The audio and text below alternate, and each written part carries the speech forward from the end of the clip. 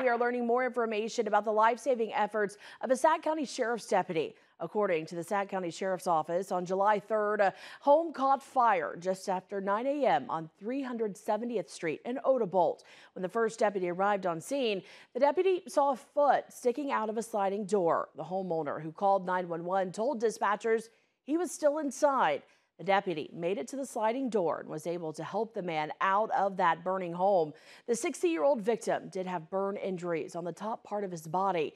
He was transported by helicopter to a burn center for treatment. The Odebolt Fire Department did request the state fire marshal's office assist with this fire investigation.